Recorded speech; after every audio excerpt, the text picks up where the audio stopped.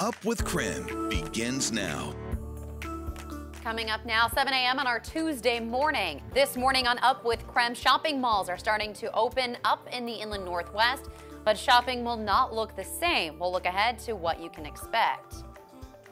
And with the highest national unemployment rate since the Great Depression, local universities have rolled out incentives to persuade students to continue their education. This morning, we'll introduce you to a program launched by Gonzaga University to help their alumni. And we are continuing to track breaking news this morning in Spokane Valley. Trent Avenue is back open this morning after a wreck in that area. Traffic was impacted from Lily Road to Park Road. And again, that wreck is now cleared. Well, good morning and welcome to Up with KREM. Great to have you with us this morning. I'm Jen York, joined by my colleagues Joshua Robinson, Evan Arani, and Dana Marie McNichol. Hi, guys. Good to be back today after a long holiday weekend. Dana Marie, how was your weekend? Oh, it was great. I actually played golf for the first time a couple of weeks ago. I broke my collarbone mountain biking, and I'm feeling good. And I'm glad I can hit the hit the golf course. Oh, yeah. Maybe that'll change your swing a little bit. I was a little bit more cautious, that's for sure. Uh, balls went uh, not straight every single time, but I think I'm going to blame it on my collarbone. But I think golfers always have things to blame their bad golf game on. So just another one to add. Always. I, you get a few extra mulligans, that's for yeah, sure. Exactly. Uh, all right, we're going to be checking in with the team here in just a few minutes. But first, we do want to get to some local headlines here on our Tuesday morning, including this. Leaders with the Coeur d'Alene tribe say five people on the reservation tested positive for coronavirus. The tribe reported its first confirmed case on Friday. Now, they say the child has mild symptoms and is isolating at home with her family.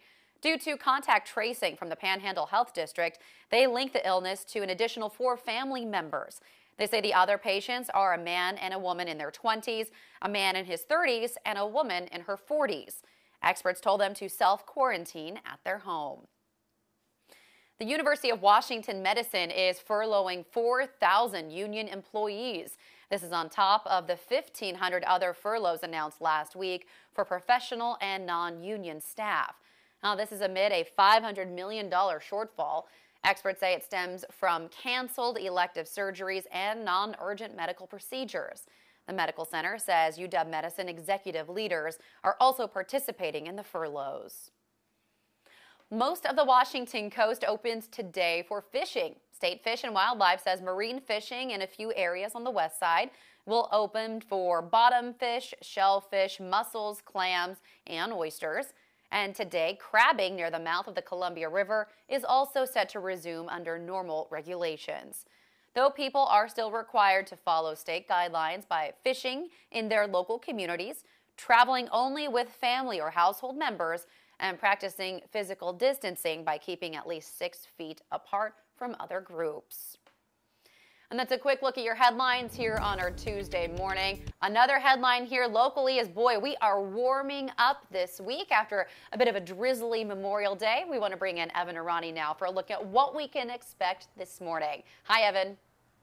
Hi, Jen. Yeah, good morning to you. An overcast start to the morning for most of us, though those temperatures are going to keep warming up today, and we're going to see those clouds part at times, leading to partly cloudy conditions. Uh, boy, the warm up that we have later on this week is very significant. We've got the possibility of upwards of 20 degrees above normal for your uh, afternoon high temperatures. But as we start off your morning right now, we're mainly in the 50s. You see on satellite radar how most of those showers have cleared farther off to the east of us, though some will pop pop up into the afternoon too, so it won't be entirely dry for the North Idaho Panhandle and for western Montana, but for central Washington and eastern Washington, don't expect all that much in terms of precipitation. There will be a little bit of a breeze coming through, 10 to 15 mile per hour winds, southwesterly winds. Uh, 72 degrees is that forecast high by this afternoon. That'll keep us uh, just a few degrees above normal for this time of year, and then the significant warm up comes later on. So tomorrow we get to the mid to upper 70s. By Thursday, we're in the 80s, and then Friday and Saturday, upper 80s expected. It's going to be a nice little taste of summer weather, and it's only very brief because we've got a cool down that'll come uh, later on in the weekend, Sunday and Monday, where we're back down to the low 70s. So it's not going to last for all that long, and keep in mind this is way too early for us to see a prolonged stretch of 80s, but we will get it for a few days, and it'll be a nice little taste of uh, what we're hoping for later on this year. But for now, Joshua, I'll send things over to you in just a bit. We'll take a look at that seven day forecast. Looking forward to seeing what the week is going to look like and how it plays out, Evan. We'll see you then in just a few minutes. Coming up here on 705 this morning. Spokane Valley and Northtown malls are reopening today, and Northtown will be open from 11 a.m. to 7 p.m. Now, according to the Northtown website, only a few stores will reopen today, including the salon and several jewelry stores. Some stores are also providing curbside services today, including stores like Kohl's, Macy's, and Barnes & Noble. The food court will also be open with adjusted seating, but restaurants are still being encouraged to continue carryout as well. Now, like we mentioned, Spokane Valley Mall also opening today, but downtown River Park Square Mall opened up over the extended weekend. That's where we find our Nicole Hernandez live there this morning to explain some of the ways that she sees the mall has changed. Nicole, good morning.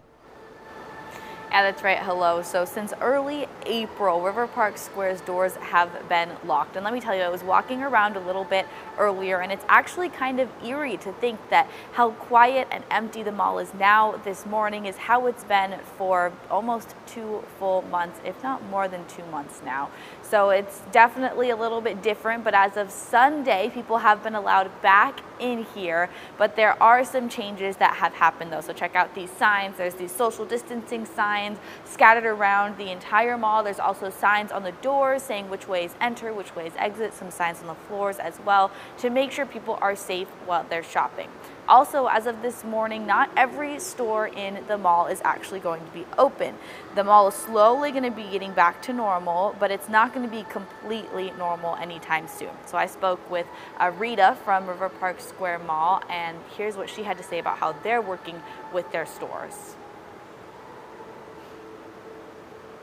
All right, looks like we don't have her there, but she was telling me that basically all of these stores and the malls have been working together to be able to know that they're all following the rules correctly and that they're constantly communicating, making sure that they know who's opening when and that everyone's following the guidelines that the state has set. So here's a list of all of the River Park Square stores open as of today. Rocky Mountain Chocolate, Whiz Kids, Oil and Vinegar, Ben & Jerry's, Free People, Anderson and Company is opening up today. Urban Outfitters, Cosmic Cowboy, Leland's Barbershop, and Anthropologie. But again, that list is changing quickly as stores decide to open back up. Some stores are not planning on opening back up as of yet, but you can get a full list of what stores are open and which ones aren't online. In Spokane, I'm Nicole Hernandez. Thank you very much, Nicole. Appreciate that update this morning. 708 now on your Tuesday. We're checking in with our own Dana Marie McNichol this morning for a local story coming out of Gonzaga today. That's right, Joshua. Now, with the highest national unemployment rate since the Great Depression at 14.7% looming over recent graduates looking for a job hasn't really been easy, but universities have rolled out incentives in order to persuade students to continue their education, including Gonzaga University. They announced the Alumni Graduate Education Scholarship, a program that offers alumni 15% tuition reductions on Gonzaga's graduate, master's, and doctorate programs, excluding law or medicine. Now, they do say the program aims to help Gonzaga alumni improve their professional development and career opportunities during this difficult time. For one recent graduate with a degree in biology, entering the job market right now is not easy instead of walking out of college hall or like you know closing the classroom door, you're you're like closing your computer in your own desk, which is so. I just never thought that would be how I ended college. A lot of companies right now, it's such a hard time to accept new, you know, job applicants. So it's been tough, you know, a little tough momentum at the moment, but I think things are going to start getting better. I've signed out a bunch of applications. Some of them just like send a resume, send a cover letter, attach your LinkedIn, and then hope for the best. It's like I just got to get through that first process and then on to the next. He's been using resources from the Career and Professional Development Office at Gonzaga University to guide his search. We just ask or help students understand how to be resilient and how to use that time in creative ways to network, to get to know what employers are hiring, um, and to look for positions that they qualify for. Um, there are some resources even now that are posting jobs that are remote work from home positions. Gonzaga University has called every graduating student to see and check in on how their job search is going. They did hear from students that their employees are still honoring the offers they have made to them, but for those who are still looking, the future is full of un unknowns. What if I don't have anything by here? So, um, no, it's, it's always in the back of my head, so that just makes me just, you know, work at it more and more. Um, that's only knows what to do, but a lot of stuff is out of my control. Although there might be a lower amount of positions open, the Career and Professional Development Center recommends strengthening their network. So I think one of the strengths of Gonzaga is that we have a very supportive alumni base. And we actually did um, some online workshops this week with our alums, and they are committed to helping our students succeed because their success really reflects on them as well.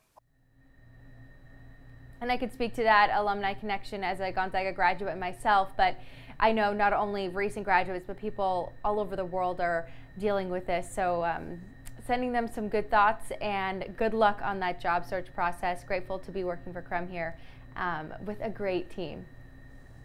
Thank you very much, Dana Marie, for, for you know, as being part of that team. Appreciate the compliment. But of course, we also thank you for bringing us that story this morning coming out of Gonzaga here. All right, it's 7-Eleven now. Excuse me.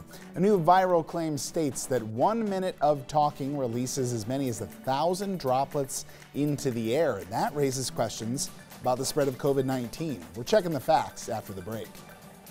But before that break, check this out. Look at that little face out of the Georgia Aquarium in Atlanta, who's announced the birth of their newest beluga whale. At birth, the newborn weighed in at 174 pounds and measured 5 feet 4 inches long. Sing your little song, sing for all your friends we like.